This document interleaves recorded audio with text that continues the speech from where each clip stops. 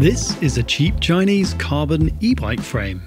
And this is the new EU legal Bafang M510 motor, 95 newton meters, and this is a huge 840 watt hour internal battery. In this video, I'm going to show you how you can build a high performance electric mountain bike that will not only look great, it'll also perform at a high level, but it will cost a fraction of what you would spend with one of the bigger brands. And this new motor from Bafang could actually be faster and more powerful than all of the other mainstream motors currently on the market. So this is my DIY electric mountain bike, and I affectionately call it the Cheeb. There's no getting away from it, stuff right now is expensive. Supply of raw materials for bikes is also tight, leading to long delays on many bikes, and brands also being forced to push up prices of bikes. Well, time to take matters into our own hands maybe. I'll share a source for quality carbon fibre frames and proven motors. Then, just like me, you can pick and choose components to build the rest of the bike with. But first, let's take a look at this frame in a bit more detail. This is the Dengfu E10 it's called.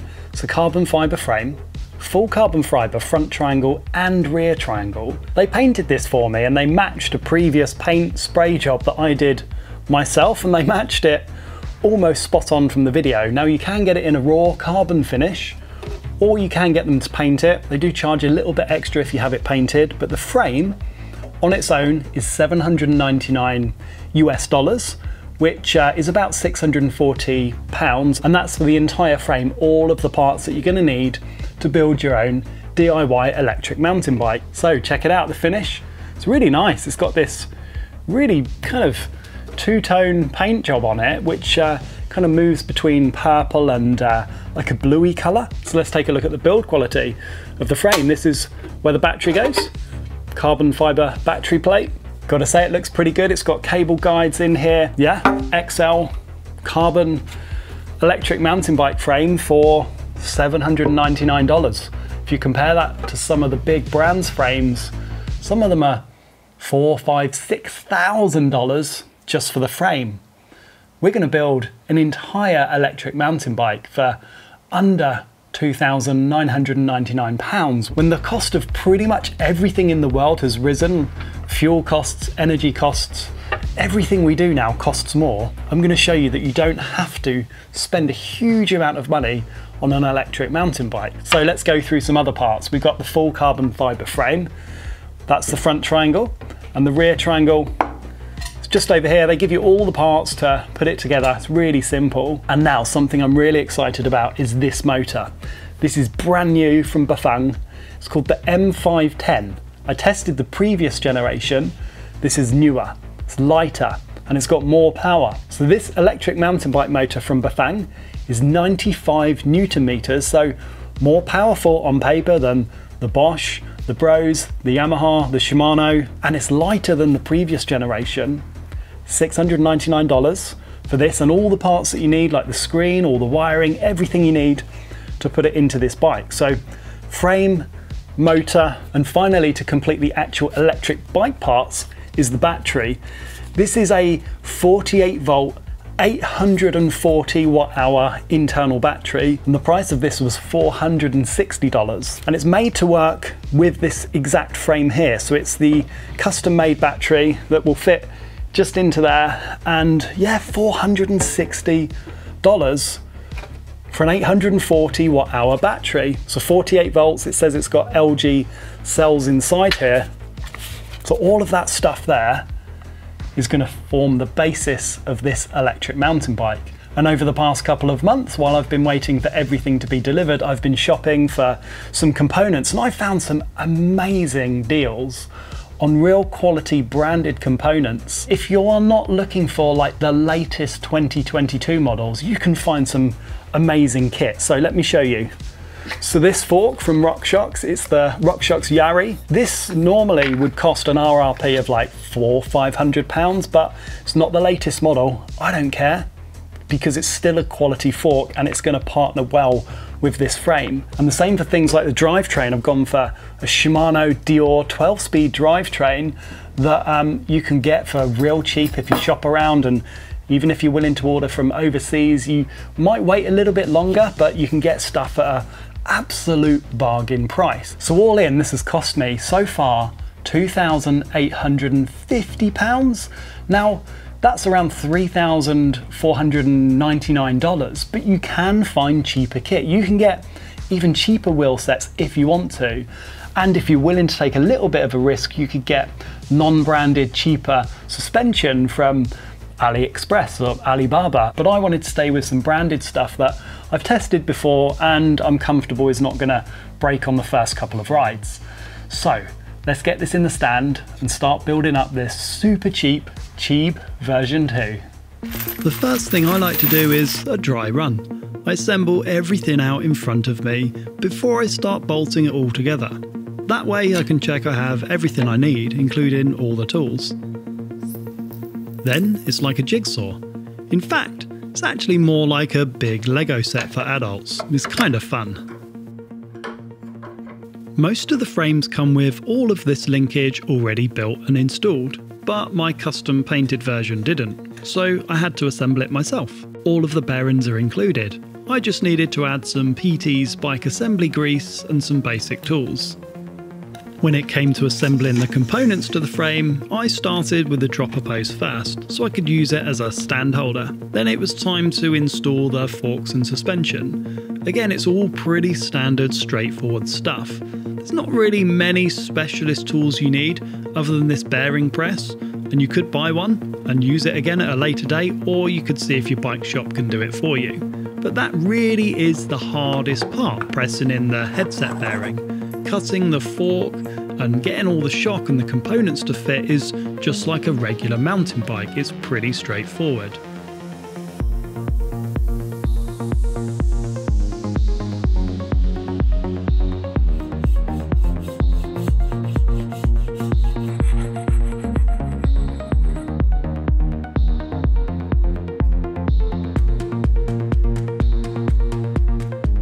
thing I really like about this Bafang kit is everything is color coded, so it's simple to connect everything together.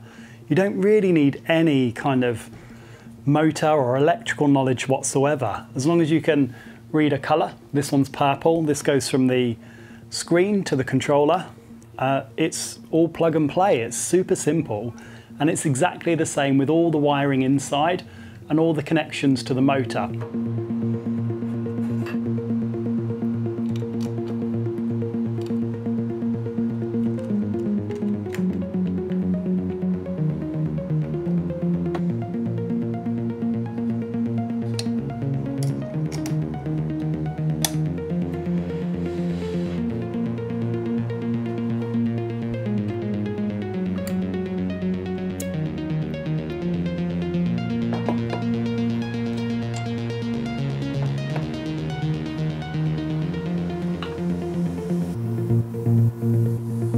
So the bike is really starting to come together now.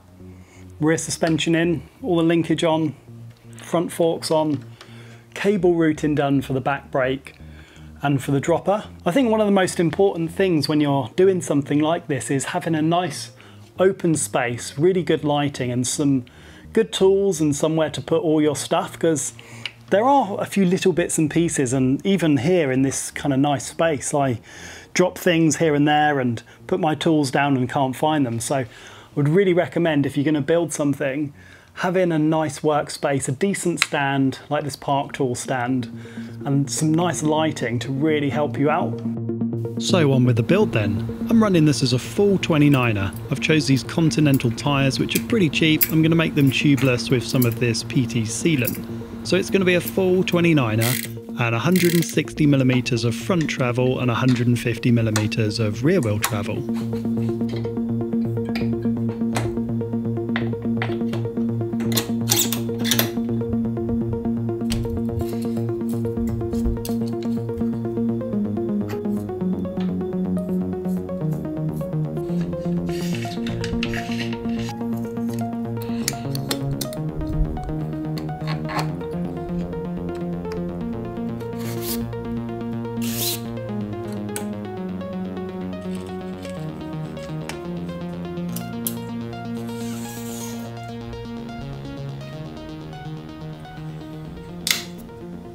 So I've got pretty much everything built on the bike, uh, bike-wise, not electronics.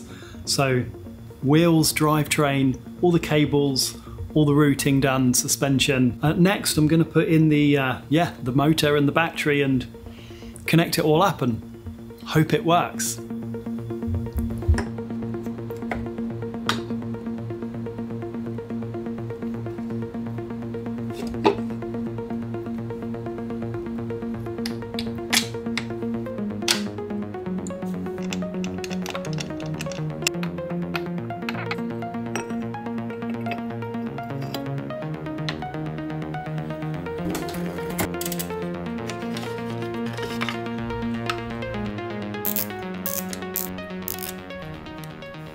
So now we'll put the battery in and hope it turns on.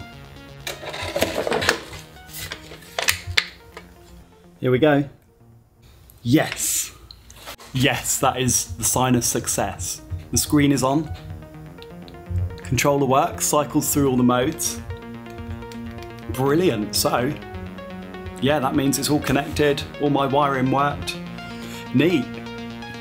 So, with the bike all working, it's time to put on some final touches and personalise this electric bike.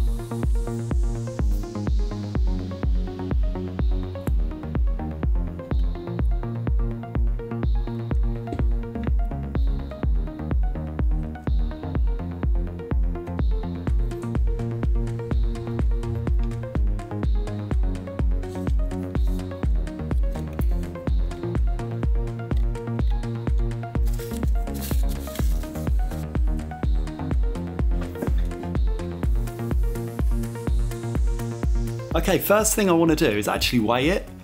A lot of e-bikes now are 24, 25 kilos. Let's see what this one weighs, this cheap e-bike.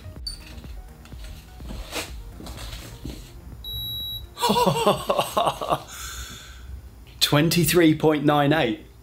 That is actually not too bad, considering it's got downhill tyres, basic everything, entry level Deore 12 speed, heavy stuff. Like there's nothing carbon other than the frame. Budget stuff, yeah, it doesn't have to weigh a lot. 24 kilos, 23.98 kilos. I'm really impressed with that. So the final part of the build is a quick test run.